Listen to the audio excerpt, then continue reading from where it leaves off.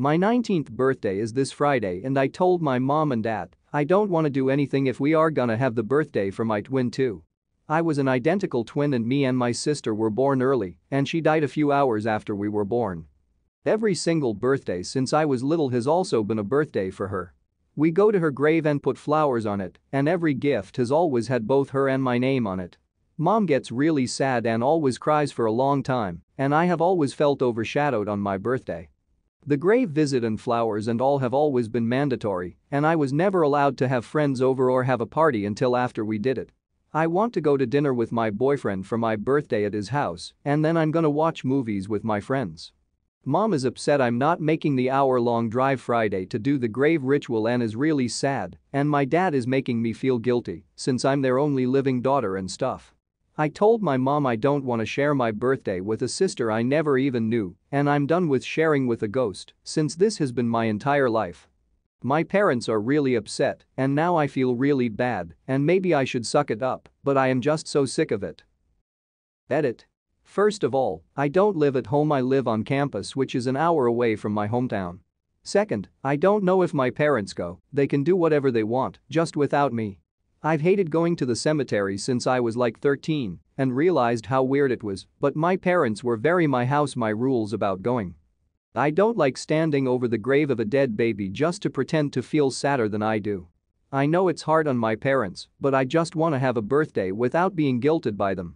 My mom gets quiet and cries a little whenever my sister is brought up, and it's turned up to 100 on my birthday, she died the same day we were born. It sucks seeing her like that. I love my parents, but you can love someone and not like their choices too. Not the idiot maybe I would look at this differently if you and your family had actually known your twin, but they basically died during birth. That is truly awful, but you never had any connection to them so sharing a birthday with them is almost a bit morbid. Like instead of having a fun day with activities you get to choose from, you get to have a memorial instead. That's a bummer and I can understand why you want it to stop. I know it must be hard on your mother, but maybe she should start respecting the feelings of her actual living child. I agree with this so much. I try to be understanding when it comes to grief I never lost a child, so who am I to judge, but putting the dead baby's name on the living one's present? That's just weird. It sounds like the mom never processed her grief completely and now she's not grieving, she's wallowing. That is not healthy for anyone. OP you are not the idiot and I hope you have a very happy birthday. I also feel like the family could visit the grave any other day of the year. It's not like it has to be on the birth date. They are choosing to make every one of Op's birthdays a sad day for them instead of letting them enjoy it. This was my exact thought. They could celebrate the daughter they have on her birthday and memorialize the one they lost on the following day. Instead, they're choosing to prioritize the lost over the living. It's terribly unfair to OP. The one day, literally, that should be all about her is instead all about a ghost. Giving her gifts with the deceased baby's name on them makes OP a mere proxy Go reclaim your birthday, OP. Find a way that makes you happy because you deserve that. Her parents should be celebrating the fact that OP survived instead of mourning the one that sadly didn't make it. Not the idiot, your parents need to move on. I'm not saying they shouldn't still be sad on the day, but forcing you to share your birthday with a dead sister is unhealthy after 19 years. My husband, 35M, is a bank clerk and I, 29F, have a WFH job which I barely bear since I'm an active outdoor person and like doing gardening stuff in particular. I figured since I have a background in gardening, I decided to use our spacious backyard to grow flowers and sell them online after arranging and organizing them into bouquets. When I brought this up with my husband he said this was the worst idea ever, adding this would be a major waste of time and money, and suggested I look for a second job. I didn't listen and started my business little by little. In a matter of 18 months, it started bringing decent money and I gained customers. My husband offered to look at how much I was able to make in the past months and was impressed. The other day he was standing with his drink while I was checking my flowers. He talked about what a good job I was doing keeping our business flowing. I corrected him about it being our business and reminded him about how little faith he had in my potential to make decent money out of growing and selling cut flowers. He was like well. I didn't honestly think your little gardening hobby was going to get anywhere, but now that business is flourishing, I want my fair share of profit and won't settle for less than 50%. I was puzzled I asked why he thought he should get any share of the profit let alone 50%. His answer was that I was using his soil to grow my flowers on. I said this is our house our soil not just his since we are married and both our names are on the title. He was like actually I owned this house long before you came along, so it's technically mine.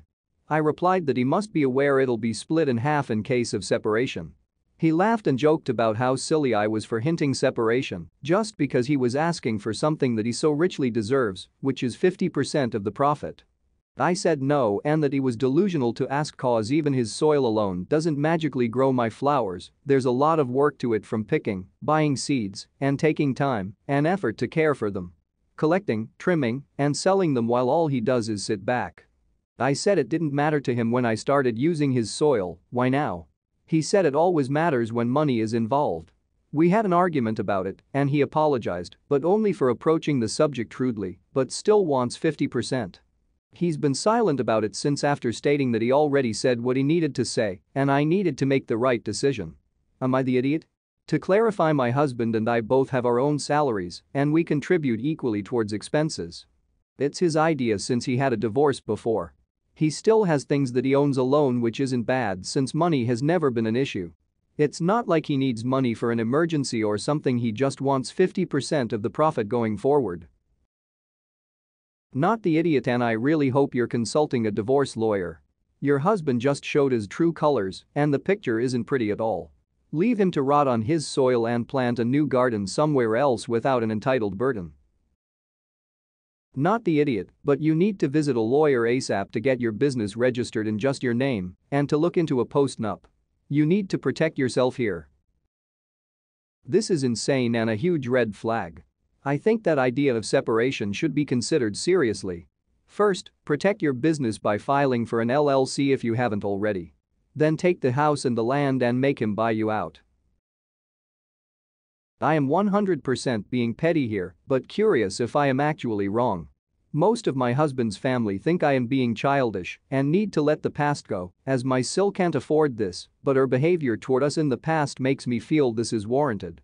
Two years ago my house burned to the ground after being struck by lightning. Thankfully it was during the day so our three kids were at school and my husband and I were at work. We lost everything but we were safe. It took almost 11 months for the insurance to pay out.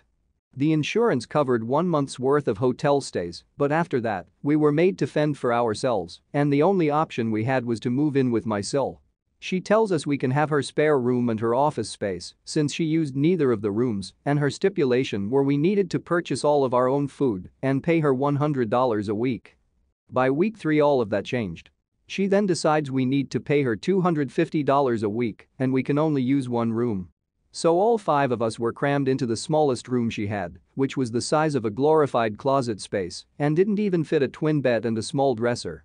So we lived out of trash bags and slept on the floor for close to $1,000 a month some months and still had to purchase all of our own food despite her claiming my children on her food stamps.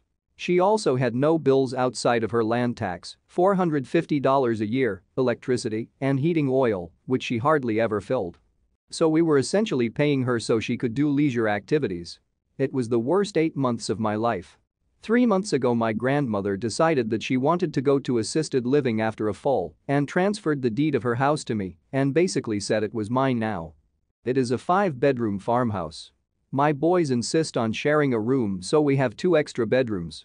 Well, my sil lost her house last month due to not paying her land tax for several years and asked if she and her stepdaughter could stay with us until they get enough money to move down south. I said sure, one bedroom, $800 a month and you have to buy and cook all your food separately because my daughter is vegan. She looked at me like I had 10 heads and said that she and her stepdaughter should not be made to share a room when there are two extra rooms and stated she cannot afford a rent of $800 while purchasing all of her own food on top of it. I said. Neither could we, but we managed to cram five people into a glorified closet space while you were getting $1,000 in food stamps. Take it or leave it. She decided to leave. Again, I am being told I am childish. Am I the idiot? Not the idiot. It's $250 month for the room and $750 month for you to see her stupid face every day. You're giving her an 80% discount on the rent because she's family. You are not the idiot. You simply treated your sill how she treated you. Not worse and not better. If she thinks it's unfair then it shows she knew what she did was wrong first. Screw anybody who says you should accommodate. Best thing ever that she left. Enjoy your farmhouse. Childish and petty as hell? Oh yeah. But also not the idiot. Tell your Sil and everyone else that you reap what you sow. In my opinion, you're being extremely generous in requesting that she pay $200 less than what you paid for one room.